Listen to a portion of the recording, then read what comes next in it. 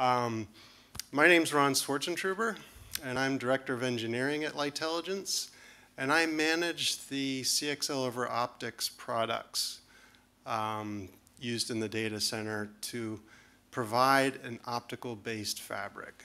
So we see CXL over optics as one of those groundbreaking improvements. And so I'll talk a little bit about that. Um, so we are a member of the OCP community. We're one of the startups. Um, and in fact, Cliff mentioned us yesterday. And we're also an OCP solutions provider. So you can go onto the OCP website and look at our solutions. We'll talk about those um, at the end. And uh, you can see AI and optics. So we'll talk about how those, how the intersection and where we see that in the future. So we'll talk a little bit about the data center, the memory-centric shift in the data center, uh, the growth of AI and the LLMs, um, the popularity of CXL. So we'll talk a little bit about that. If you're new to CXL, not sure what it is. And then uh, we did a case study uh, my company, uh, because we weren't sure was does this CXL over optics make any difference. So we did a case study on an LLM, and uh, we actually have it here at the show on display.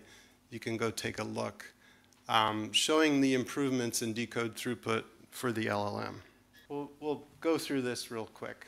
Um, the models continue to grow, and what we're seeing is disaggregated architectures are required to help them expand. Basically, you can't fit your model in a single server.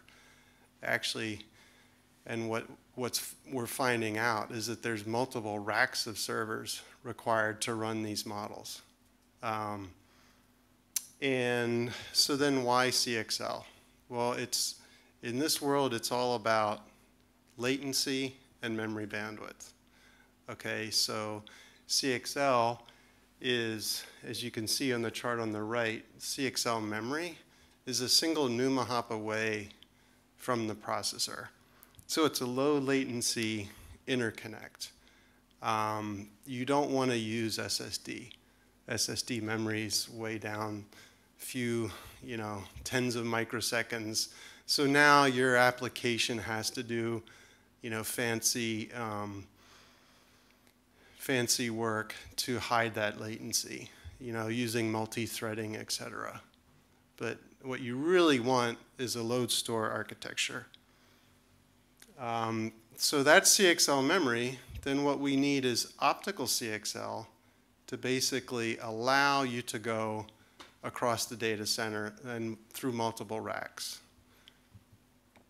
Um, So today, your traditional Ethernet is going to be RDMA-based architectures. So you're looking at a, a, variable amount of latency, many you know, tens to 100 microseconds, uh, specifically when you add in the, you know, the FEC um, that's attached to a lot of these copper interconnects. But with CXL, again, it's, it's a much lower latency the latency is actually fixed per the standard of, of PCI Express. So it's consistent, it's hundreds of, uh, hundreds of nanoseconds.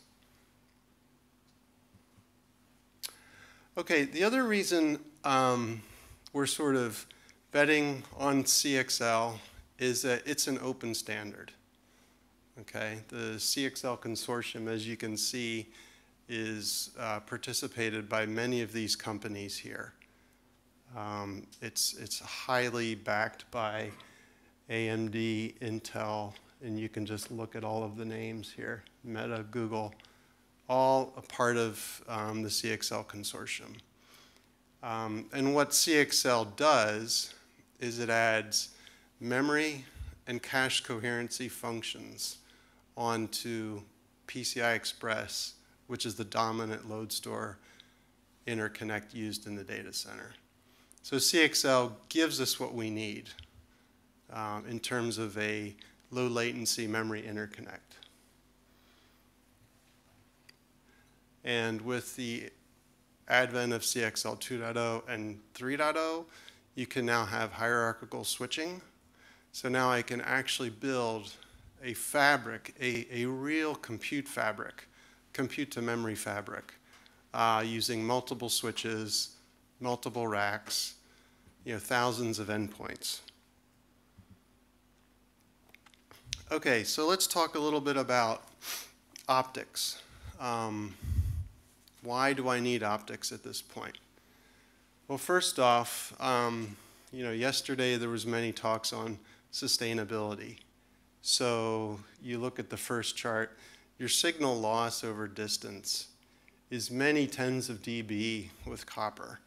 Uh, and in fact, the best PCI copper cables are maybe two meters uh, at Gen 5 speeds. At Gen 6 speeds and Gen 7, it's going to be much worse.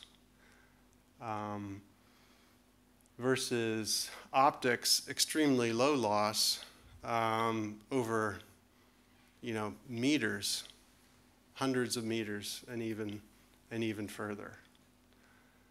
Um, also, the cross-sectional area. If you've ever opened up a server and you look at how these MCIO cables are connecting to all of the different locations for your PCI connectivity, they're fairly bulky. Um, versus optics, you can have you know multiple fibers in a single you know three millimeter cable. Um, add on to that future technologies with multi wavelengths. So you're really talking about a dramatic shift in cross-sectional area um, for your cables. So um, simply put, what our product is going to do is it allow, allows you to break through the rack um, and extend your CXL fabric over multiple racks and through the data center. And that's what optical CXL uh, gives us. Um, the product we've launched is called PhotoWave. So it's a low latency, high bandwidth, data center reach um, type of product. And it's the first of its kind. Okay, so let's talk a little bit about our case study. Again, we wanted to prove that this was going to be useful. Um, so what we did was we put a simple use case together where on the left-hand side is a 2U uh, Supermicro server uh, with an AMD Genoa CXL 1.1 processor in it. So this um, processors supporting CXL are starting to come online. This is a uh, this is a Genoa. That's uh, the Turin supports uh, 2.0, and Intel Sapphire Rapids are also coming out with uh, 2.0 capable CPUs. Um, along with that is an NVIDIA A10 GPU um, that's doing the, the large horsepower for uh, running the LLM. And what you can see is a PhotoWave card that's a low profile PCI um, form factor chem slot card. So your ubiquitous PCI card.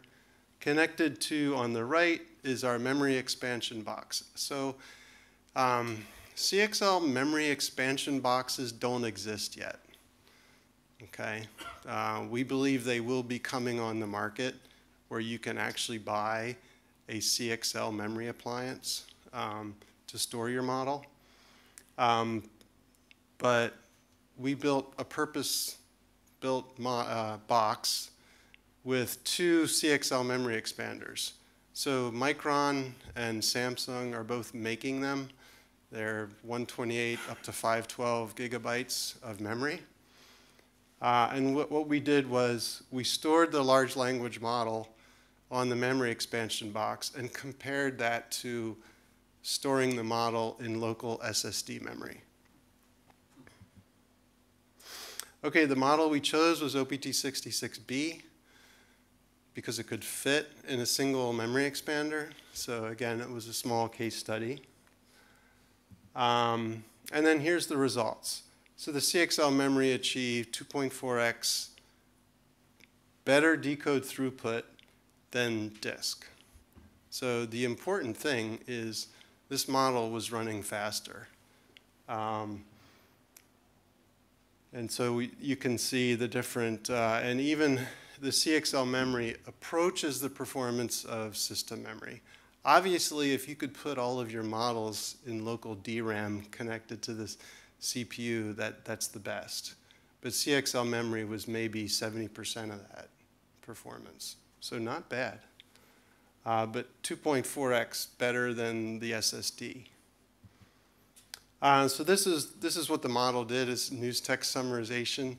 Um, to summarize, it takes a page of news, summarizes it into a few sentences. It actually takes about six minutes. So this is um, a, a, a, rapid uh, display here. But, uh, you know, to have it run two and a half times faster is pretty important, right? six minutes down to just under three.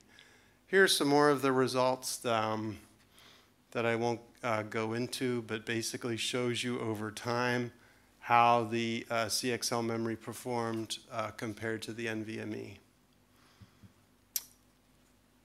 And let me just show, uh, so these are the form factors. I mentioned the PCI card, uh, the first one. The OCP 3.0 um, SFF card is in the middle, so that's our, that's our OCP compliant card. And on the right is active optical cables. So we're actively working on several form factors. Um, so CDFP is the first one. We're also working on QSFP DD and OSFP XD. So those are the form factors that uh, we're very active in the PCI SIG. Those are the form factors that the PCI SIG is also um, sponsoring for, for active optical cables uh, form factors. Uh, there will be an ECN to the PCI 6.0 spec coming out this year um, that includes those. So a few of the features, um, so jitter reduction, the cards have electrical retimers on them. The AOCs do not. The AOCs are pure linear drive so less than a nanosecond of latency across that uh, connector. So you're really dominated by the time of flight, five, net, uh, you know, five nanoseconds per meter uh, of cable.